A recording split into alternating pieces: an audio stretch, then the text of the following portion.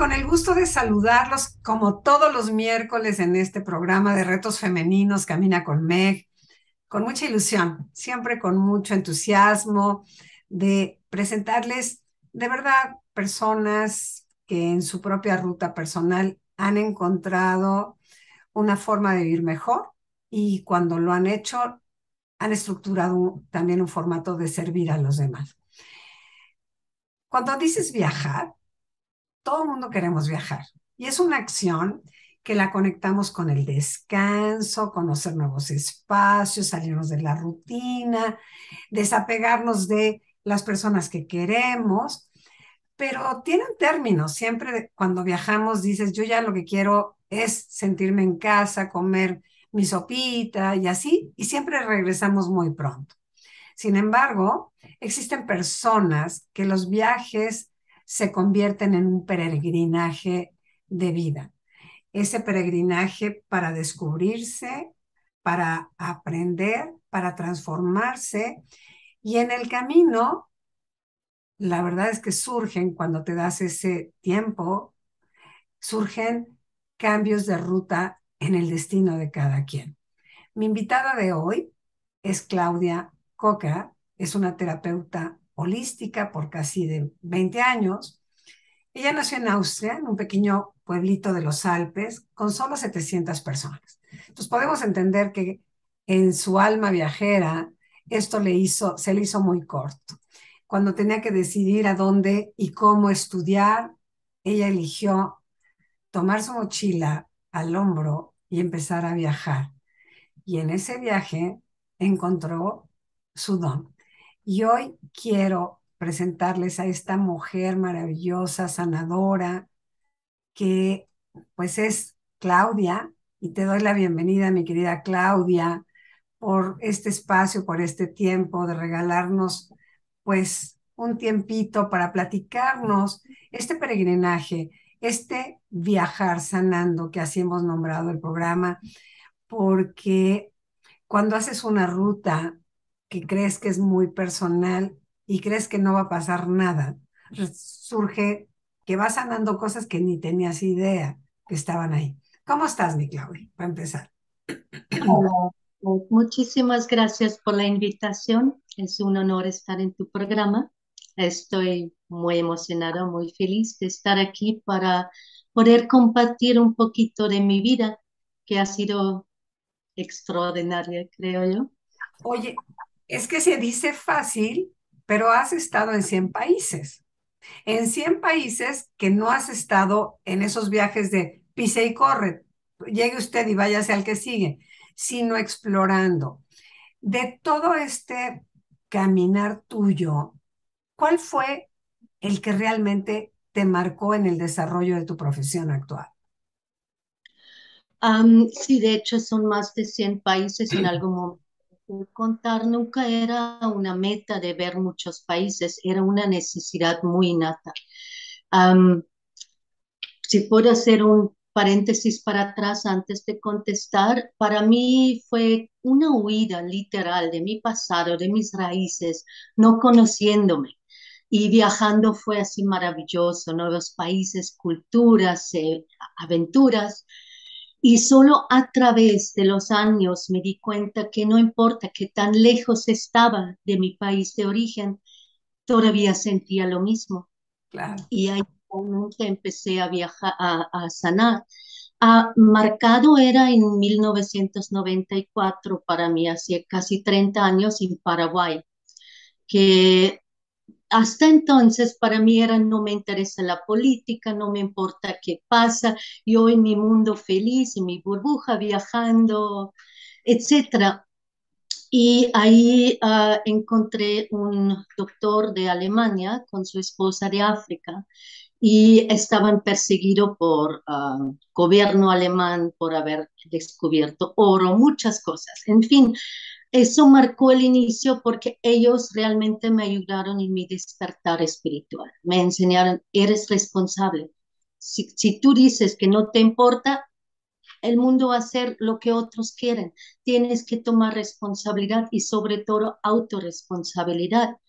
Y ahí también empecé a trabajar con biomagnetismo, con un aparato que era único en este entonces, donde agarrabas a cosas de metal, entraba energía, se te cambió, regresó y ahí empecé con mis masajes en 1994. Eso fue el inicio literal de mi gran cambio en mí. Cuando entras a ese espacio que tú dijiste hace un momento. Me doy cuenta que no, no importa qué tan lejos estoy del espacio donde nací, no he sanado.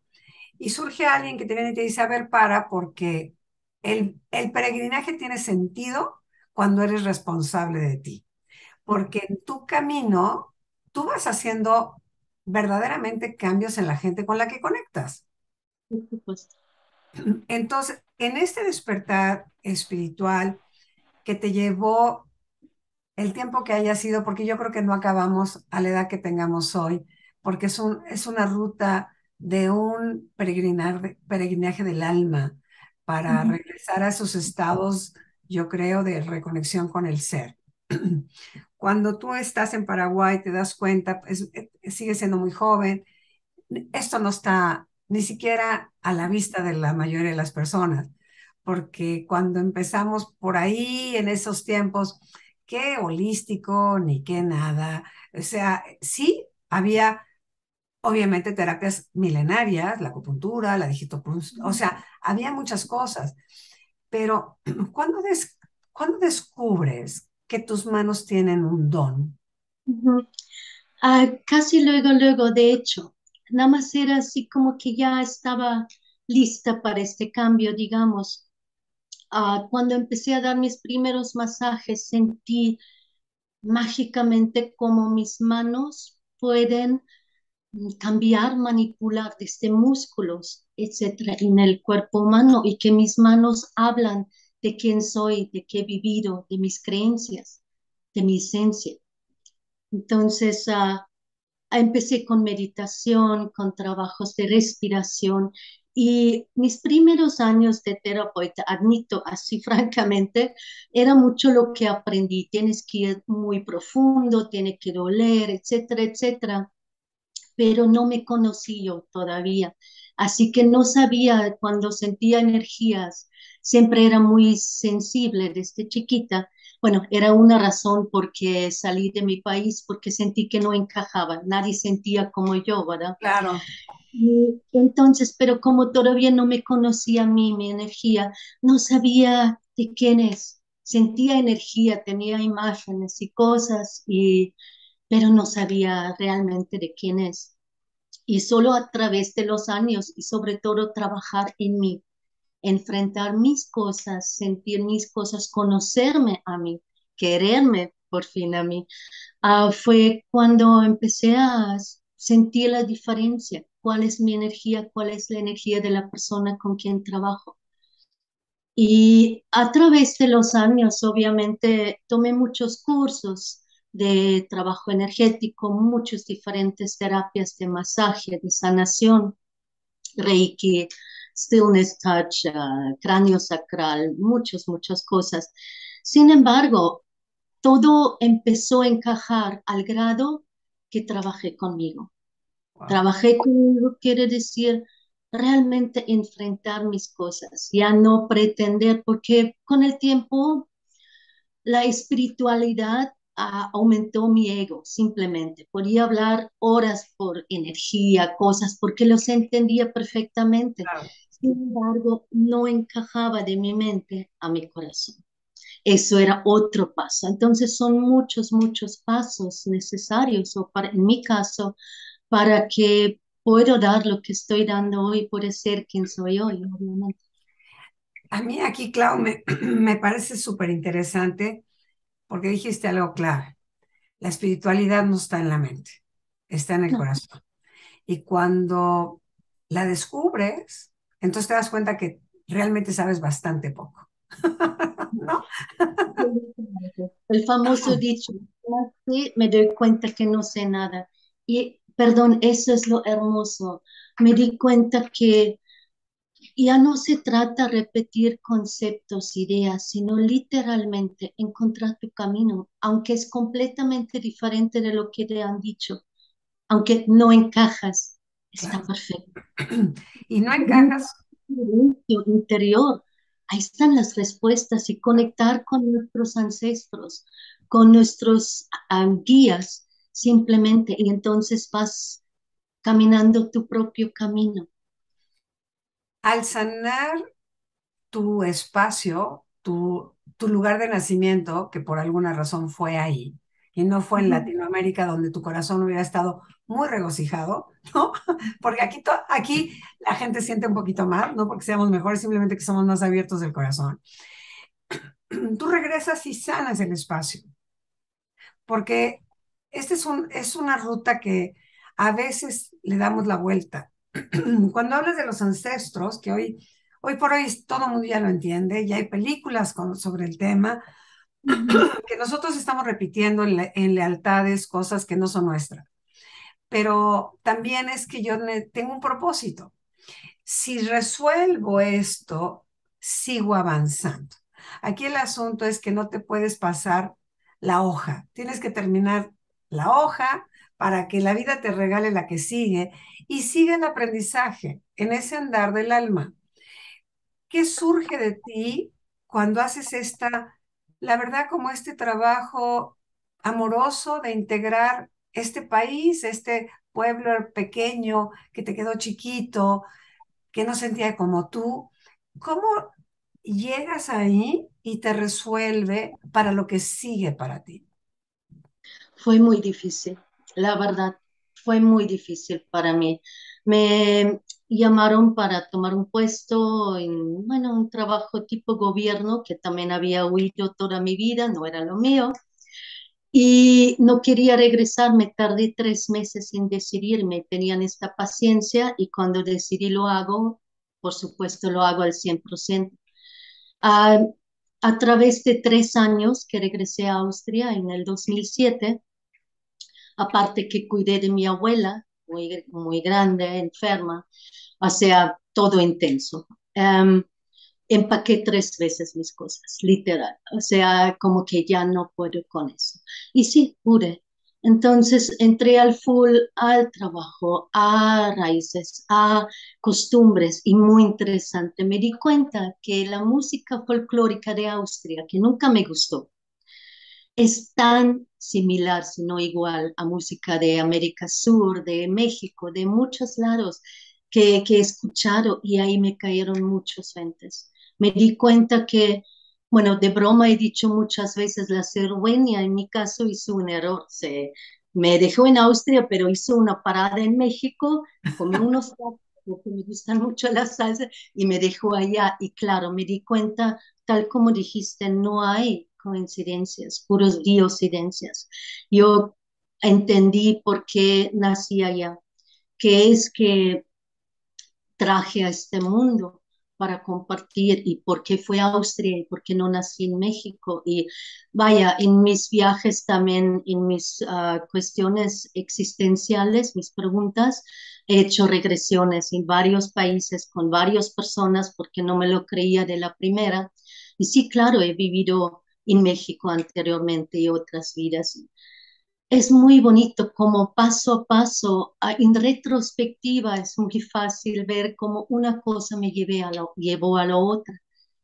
Y sanando mi país, decidí, de aquí soy, ya no quiero viajar, cuando por fin encontré esta paz en mi corazón, en mi alma. Decir, oh, qué hermoso país, gracias, gracias por haber nacido aquí. Ya no quiero viajar, es que mi alma gemela, mi pareja hermosa, me he vuelto a encontrar después de 11 años. Y pues un mes después venimos a México. Y desde casi 13 años estamos viviendo aquí felizmente. Aquí, Así, hay, un tema, hay un tema importante porque vas juntando, sí, el formato de un masaje terapéutico, holístico, pero también tienes información ancestral a través del chamanismo, a través de la cultura nuestra, que lo que siento es que todo se amalgama, ¿no?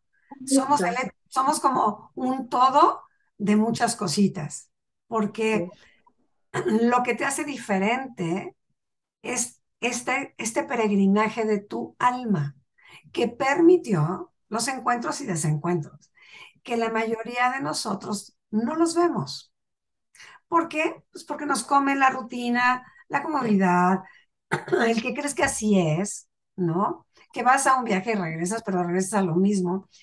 Para poder avanzar, yo creo que tuviste que trabajar, o ya era parte de ti, el desapego. Mira, llegué al grado de desapego obviamente, en los primeros años era buscar la felicidad. Eso era mi principal meta, ya quitarme lo que sentía pesado, triste, ya no quería eso. Y entonces eso era mi meta, buscar la felicidad en mis viajes. Hasta el final la encontré dentro de mí. Y hay desventajas viajando. Tengo que decir, viajé 20 años constantemente con todo lo que era mío en la espalda, porque tenía el desapego en algún momento. Dije, ay, es que no estoy libre porque estoy en contacto con tanta gente. Ya les avisé, no voy a escribir. No estoy libre porque tengo cosas guardadas en todos lados. Me hice la vuelta a varios países, continentes, dejando ir todo lo que era mío, únicamente cargaba en mi espalda. Y bueno, encontré al final eh, la felicidad adentro con el amor. Me di cuenta con tantas culturas, tantos viajes, tantas personas, también tanta violencia que vi muchas cosas o cosas hermosas, mágicas. O sea, mi horizonte se expandía y expandía y era uno tras otro. No había mucho momento donde asimilar, en mi caso, era un continuo ir. Y además en este entonces no existió internet, ¿no? Es otra cosa, hay que pensar, no había para informarme ni nada. Yo viajaba siempre sin mapa. Yo viajé donde mi corazón me llevaba o donde me platicaron, oye, este país me gusta. Ah, pues órale, trabajé, junté dinero, volé a este país. Entre menos entendía el idioma y menos conocía, más me gustaba, eran mis retos. Eh, fíjate que pues se requiere de ser muy valiente, muy valiente, muy valiente porque, a ver, pues no solo eres lo que traes en tu maleta, ¿no? Sino que además tienes que ir generando el ingreso para seguir viajando. Entonces, esta propuesta que yo admiro ¿eh? profundamente porque, pues gracias a mujeres como tú también entendemos que hay posibilidades de vivir con muy poquito y con una enorme libertad para poder, de verdad siento que poder sentarte y asimilar en algún momento de tus 100 viajes, de tus 100 países, la vida te dijo para un segundo qué vas a hacer el resto de tus días. Y ese momento, ¿qué te lo dio? ¿Qué, qué, ¿Cuándo surgió ese para? Reflexiona recalcula el viaje, ahora sí que recalcula como, como, ¿para dónde va ahora, a partir de ahora, dónde vas? ¿Qué sigue para ti? Porque siento que sí, viajar tiene un valor y claro que aprendizaje de mayúsculos, sobre todo cuando no tienes prisa de regresar a ningún lugar, donde nadie te espera en realidad. Sin embargo, perdón, te distraes mucho de ti mismo también. En retrospectiva es un, como dije al inicio, era un huir, era un llenarme de cosas nuevas para no sentir lo que estaba ahí para ver, ¿no? No había un momento clave en mi vida que me marcó y ahora sienta cabeza, ahora, ¿qué quieres hacer con tu vida? De hecho, uh, salí viajar, a viajar porque te, uh, a los 18 años terminé una escuela especial para que me permitió estudiar todo lo que había deseado en la vida. Y había tres temas y no me podía decidir por toda mi vida. Se me hizo tan grande esta decisión, pero sabía que quería viajar. Fue lo que me motivó. Y no había un momento clave que me dijera sienta cabeza, pero a través de mis experiencias viajé, trabajé con lamas tibetanas extensamente, tenía retiros muy intensos de semanas y sí tenía estas experiencias de lo que llaman iluminación o estar completamente uno con el toro. Y estos momentos realmente me entraron muy, muy profundo y me di cuenta que no es tan complicado la vida. Hasta entonces siento que me había complicado bastante. La cosa es ya dejé de tomar cursos completamente porque en una meditación salí y me di cuenta, no es algo que tenga que buscar. Cuando nacimos todos, éramos tan perfectos, confiados, llenos de amor, conectados con todo lo que existe. Entonces es un estado innato que todos tenemos. No es que tenemos que imaginar cómo se siente. Y cuando me di cuenta de eso, lo realicé, dije, ya, mi, mi trabajo a partir de ahora es desaprender. ¿En qué momento perdí esta conexión, esta confianza, este amor, este autoamor? Y entonces ya dejé por completo tomar cursos. Creo que tal vez ahí había un momento clave y simplemente enfrentaba y ya no buscaba. En mis viejos tiempos terapias eran un tema y vas buscando y buscando semanas y terapias a ver con qué está conectado, qué pasó en detalle. No era exacto eso lo que no trabajamos hoy. Este era de acuario es muy, muy diferente. Entonces, pero en este entonces era eso, pero cada vez más me di cuenta, algo me mueve, no me siento bien o me, me impacta y me senté a sentirlo simplemente respirarlo. Y de ahí la, otro gran, gran punto, la respiración sagrada, que está con nosotros desde el momento que nacimos. Cada segundo inhalamos o exhalamos y lo hacemos tan en automático que ni nos damos cuenta. Y lo fantástico es cuando sabes que cada emoción y cada pensamiento tienen una forma específica de cómo respiramos. Y entonces el ruido mental, pensamos algo, se corta la respiración o va en este limbo y si no la captamos o tenemos este momento de conciencia para cambiar la respiración, seguimos y la aumentamos, aumentamos estas programaciones. Y eso sí me di cuenta. Y es mágico, es tan bonito y no cuesta nada. Y siempre Y lo otro, perdón, el otro factor dos era el amor yo entendía el amor, leí del amor, sabía el amor, pensé que siento amor. Y no era cierto, era un concepto literal hasta que empecé a verdaderamente aceptarme para empezar, ya no criticarme tanto. La verdad, estoy convencida hasta la fecha que todos somos nuestros más grandes enemigos, la verdad, cómo nos hablamos, cómo nos tratamos, ¿no? Y cuando me di cuenta de eso, también algo muy grande empezó a girar poco a poco, porque son hábitos, son programaciones. Y creo que entre estas dos cosas ya empecé a sentar cabeza, seguí viajando, pero nunca viajé muy rápido. Viajé hasta que se me acabaron los, visas, los visas y siempre buscaba la gente local hay países que he ido que hoy día me dicen, ¿cómo no has visto tal y tal templo? No me interesó. Yo estaba con la gente, los pescadores o en la selva y vivía con ellos. Y pues eso es, creo que también sin haberlo buscado, lo que me formó mucho. Fíjate que, Clau, dices algo bien importante, porque nosotros veníamos de la era de Pisces, que había que conectar con el conocimiento. Y todos los que tenemos una generación, digamos, de los 50, ¿no? Que nacimos por los, de los 50 en adelante, nuestra meta era el trabajo, era conseguir, era aprender.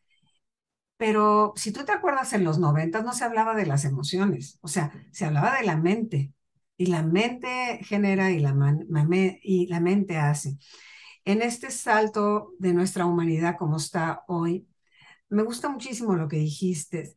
Te das cuenta que ya no es que necesites más conocimiento del que tienes, porque a muchos, a lo mejor de la gente que nos está viendo ahora, ha, ha tomado muchísimos cursos. ¿De qué te sirve todo este aprendizaje si no tú no has volteado a ver y atender tu corazón? Este, este sentido que le da la existencia que es el amor.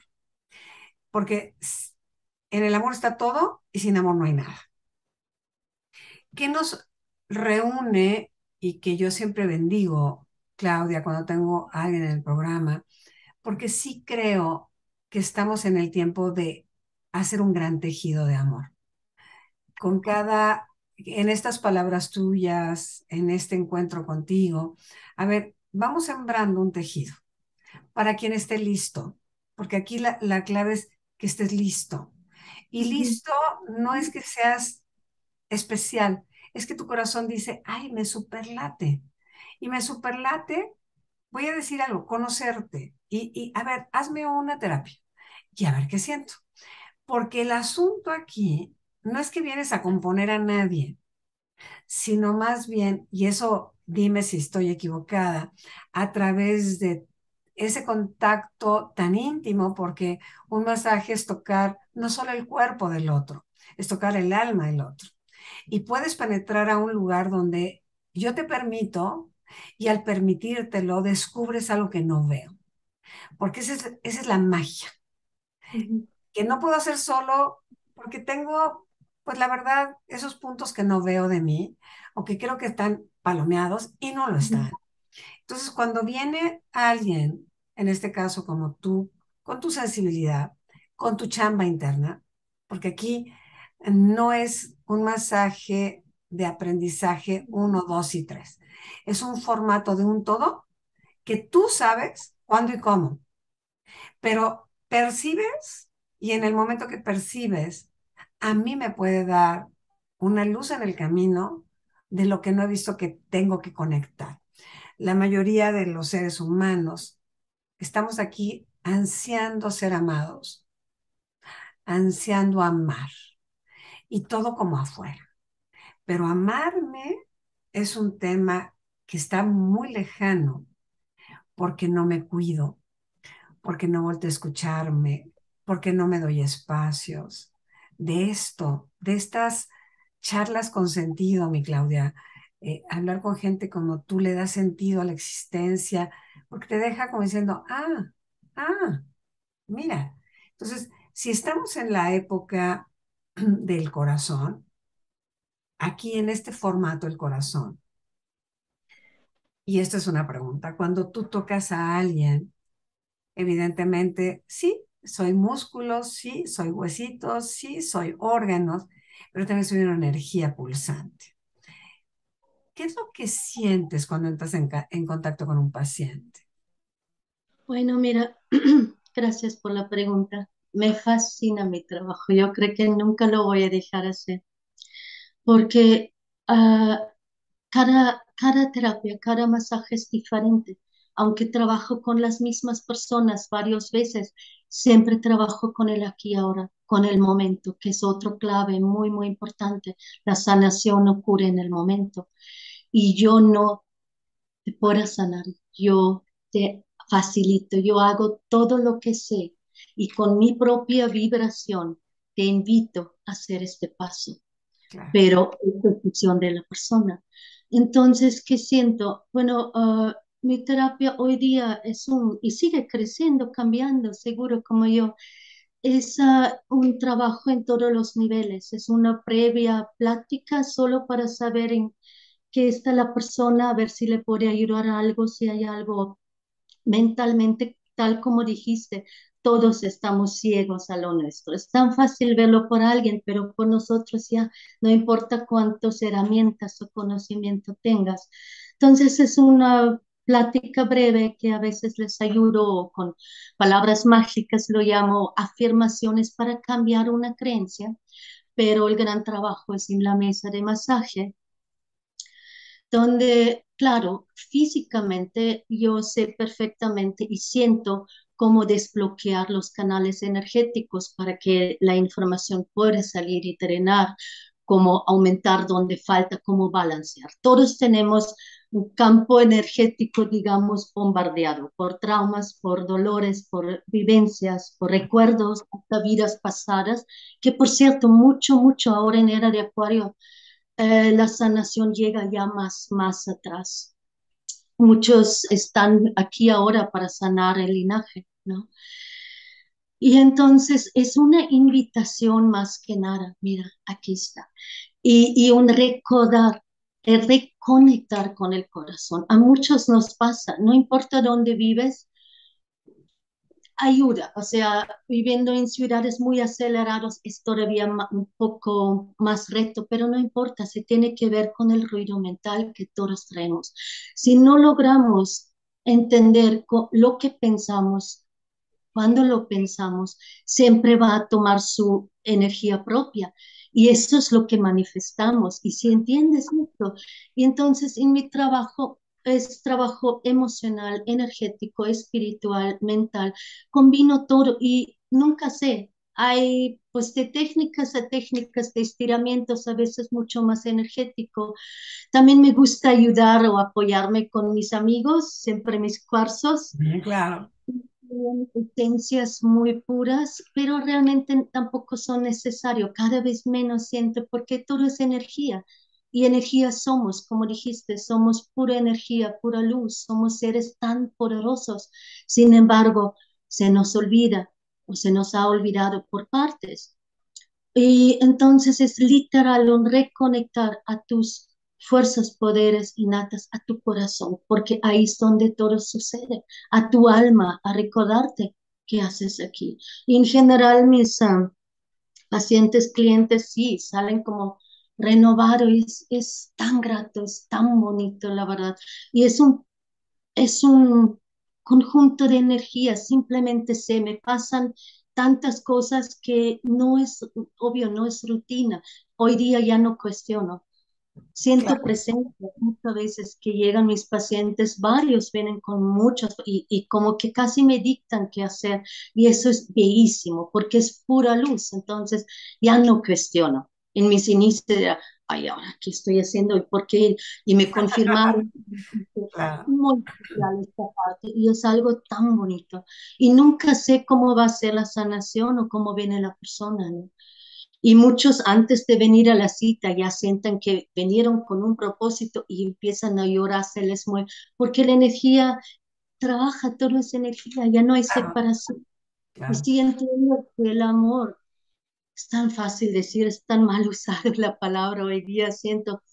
Amor literal es cuidarnos uno al otro, todos somos uno. Y eso es un decir también, pero es verdad, todos somos energía, todos estamos interconectados, no hay caso que nos encontramos. Y hay para todos, ¿no? Y eso es tan bonito, darte cuenta que con un trabajo así de hora y media o 90 minutos, logres girar la vida de alguien profundamente, wow, es una gran satisfacción. Ahí es donde encontré mi misión, definitivamente. El don, el don de despertar el corazón de alguien, ¿no? Porque a lo mejor de ahí se dispara un cambio para otro lugar o para una búsqueda interior porque pues el cuerpo es chismosísimo. Todo lo que ah. tú no has, no has trabajado con tus emociones, el cuerpo te lo dice de, manera muy abrupta que cuando, cuando alguien toca, igual lloras porque ahí no, y entonces ahí viene todo lo que hay que, que resolver. A mí me parece que hoy en día, mi Claudia, tenemos la fortuna de tener muchas alternativas para estar bien, muchas. Entonces, esta frecuencia de... Y también sabes qué, siento que nos hace falta ese contacto. Yo creo que en el masaje hay un, un contacto tan amoroso que todos necesitamos, porque hay mucha gente que vive sola, que no ha sido tocada y después de pandemia mucho más. Entonces es como retomar el abrazo y el toque, en este toque amoroso, respetuoso, de encontrar el placer de sentirse tocado y amado. Entonces, el apapacho del alma, lo llamo yo. Correcto, correcto, el apapacho del alma, porque cuando uno se suelta y se entrega, si yo permito que tú entres a mi campo energético, en ese instante tú y yo estamos haciendo una comunión con dos energías de las cuales los dos vamos a salir diferentes. Absolutamente. Gracias por decirlo, así es. Y eso es lo bellísimo. Y con tantos masajes he aprendido a sentir los músculos. Mi trabajo, mis masajes ya no son dolorosos, muy poco, y súper preciso, pero siento el músculo. El momento que el músculo ya no quiere soltar, no importa hasta dónde, ahí lo respeto. Entonces es, ah, es la verdad, es hermosísimo. Y como dices, es un entrar en contacto con la persona ya se hace un, por eso mi vibración mi conocimiento, lo que aprendí o lo que traje a este mundo, automáticamente, sí, si quieres sana parte de la persona, pero yo digo la sanación sí es una decisión también. Tengo que estar listo, tal como dijiste, hay un momento para todo. Y aunque a veces es plantar una semilla para cuando está el momento, para crecer. O como dijiste de la era de Acuario, al contrario con Pisces, hasta el símbolo en astrología se ve, es dividido. Es yo y tú, está como la dualidad. Y la gran virtud era sacrificarnos en este entonces, los famosos mamás o Jesús, ¿no? Pero desde el 2013, en era de Acuario, es completamente otra energía. Entre más temprano lo entendemos, incorporamos y vivimos, más fácil va la vida. Ahora se trata ya no esperar a alguien que nos salve, sino despertar el poder interior hacernos responsable por lo que nos pasa, ya no buscar culpables, que la mamá, que el papá, que la familia, la religión, la sociedad, la política. No, no, no. Reconocer que somos energía y atraemos energías afines, nos guste o no nos guste. Y entonces también es era de trabajar en conjunto, trabajar juntos en grupos, cada quien aporta lo que mejor sabe y puede, lo que dijiste hace poco, que todos estamos en la luz juntos y eso es un trabajar juntos y eso es, wow, y eso es lo que estamos haciendo realmente ahora. Y por último, en este sentido, también ya sabemos muchas cosas que no funcionan o que nos han hecho o nos manipulan por la tele ya no importa cuánto tenemos que saber, es importante hacer un alto y decir, ok, ya estoy informada, ahora ¿dónde pongo mi atención? Porque donde yo pongo mi atención crece. A poner la atención a cosas que funcionan, que son bonitos, que me gustan, que me hacen sentir bien, es la más gran aportación a todo que pueda dar. Eso es otra cosa que me di cuenta hace muchos años atrás que quería cambiar el mundo. Hice marchas para Greenpeace y no sé cuánto, y ahí gente estaba muy enojada y digo, a ver si es de la paz que, sea, muchas... sí, claro. Y ahí sí reflexioné y dije, espérate, yo tengo mi pequeño mundo, si yo hago lo posible para mantener mi pequeño mundo lo más elevado, amoroso, limpio, bien posible, esto es exactamente mi aportación al mundo, a cada ser, a cada hermano, a cada hermana, a todo que existe está vivo. Y eso es realmente lo que vivo. No soy muy afuera, estoy siempre, siempre más adentro. Pues ese es el gran regalo, la verdad, para nosotros en este programa, mi querida Claudia, la honestidad y la claridad, ciertamente. Palabras claves, gracias. Sí, porque no vengo a salvar a nadie. Yo vengo a ser como ese instrumento, ese canal de bien, para quien se deje, para quien lo tome, pero básicamente la que va sanando en cada servicio al otro soy yo.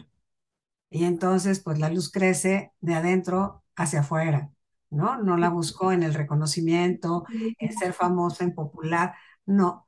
Lo que me toca en el cuadrito que me toca queda lleno para cuando yo me vaya. No me quedo con el pendiente de que no hice lo que tenía que hacer, ¿no? Correcto. Con la autenticidad es otra palabra muy clave.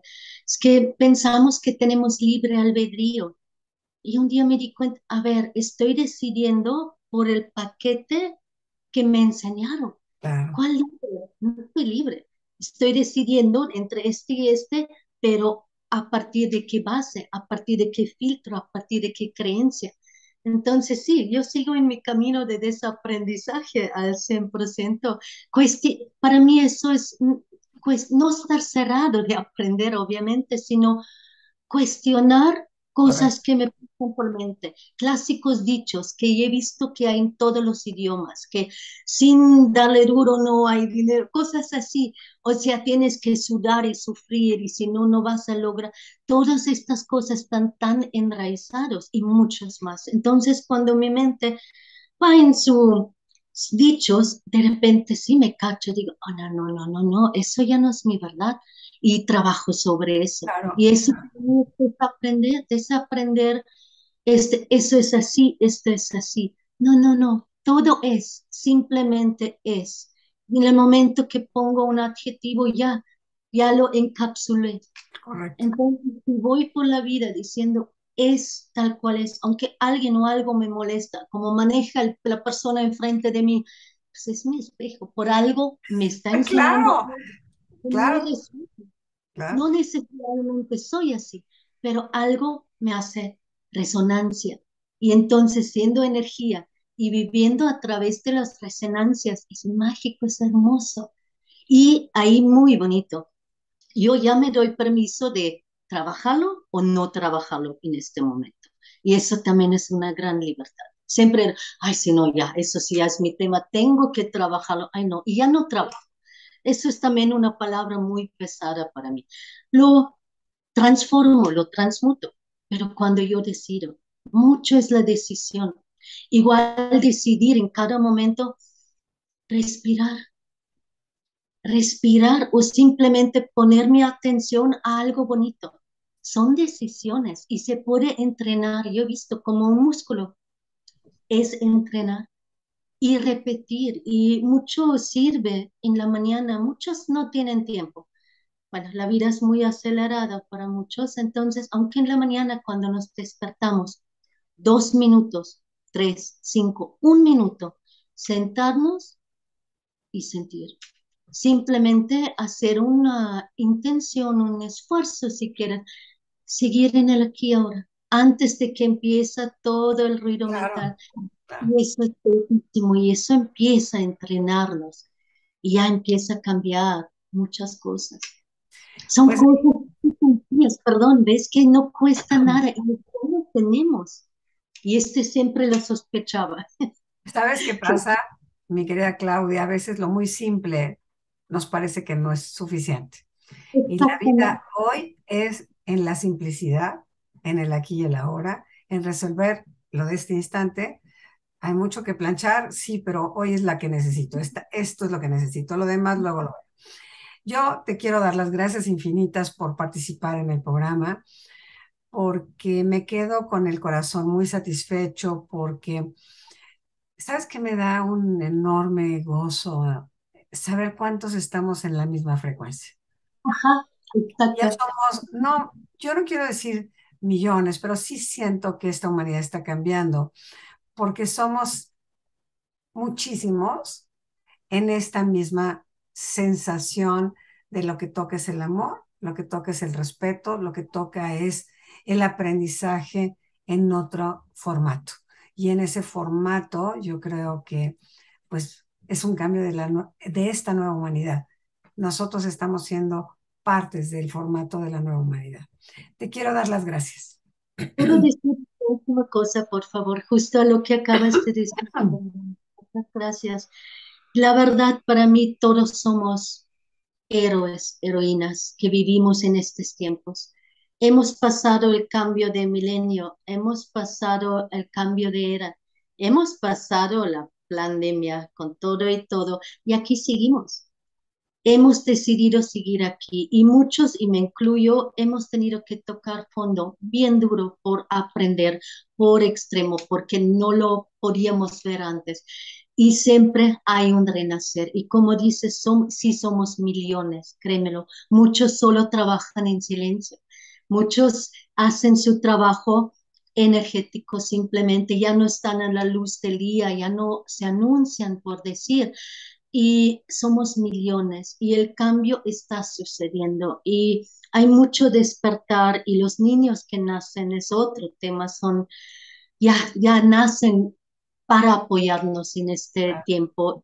Es un privilegio estar aquí, estar en cuerpos para caminar esta tierra sabiendo que somos eternos. Y viéndolo en la eternidad es una nadita. El tiempo estamos aquí, aunque llegamos a tener 100 años. Así que hagamos lo mejor que podemos y sobre todo uno a otro y querernos. parte como dijiste, de adentro afuera, realmente empezar a chiquearnos, a querernos, a hacer cosas bonitas para nosotros. Y de ahí todo lo demás. Así es.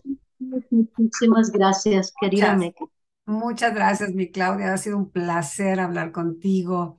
En estos encuentros te digo que la reconexión del tejido a mí me parece hilando, hilando el futuro sin darnos cuenta qué hilo somos y tampoco importa. ¿No?